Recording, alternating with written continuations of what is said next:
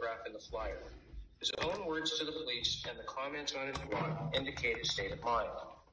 According to the Crown, or, sorry, correction, he is unable to avail himself of the defense of religious belief in section 319 sub 3 sub b of the criminal code because the flyers the contents of the flyer disclose his true hateful beliefs respectfully i have a reasonable doubt that mr whatcott intended to promote hatred the offense imports a stringent standard of mens rea in considering the minimal impairment aspect of the oakes test chief justice dickson stated in keegstra quote this stringent standard of mens rea is an invaluable means of limiting the incursion of three, Section 319, Sub 2 into the realm of acceptable, although perhaps offensive and controversial expression.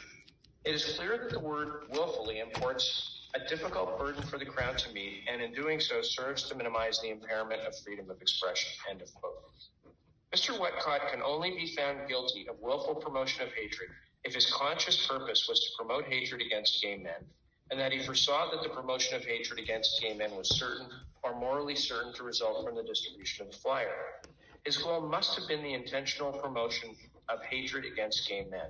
R versus Buzzanga and Durocher, decision of the Ontario Court of Appeal. Willful blindness will not satisfy the stringent mens rea requirement.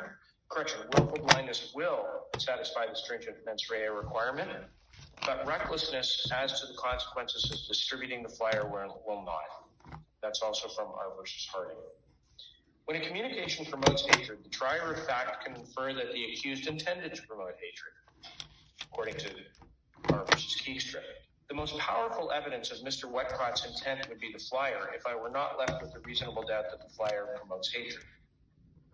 Beyond the flyer, the other evidence of Mr. Whatcott's intent does not persuade me beyond a reasonable doubt that he intended to promote hatred. Mr. Whatcott blogged about his foray into the Pride Parade. Crown argued that it argues that his words on the blog are evidence of his state of mind.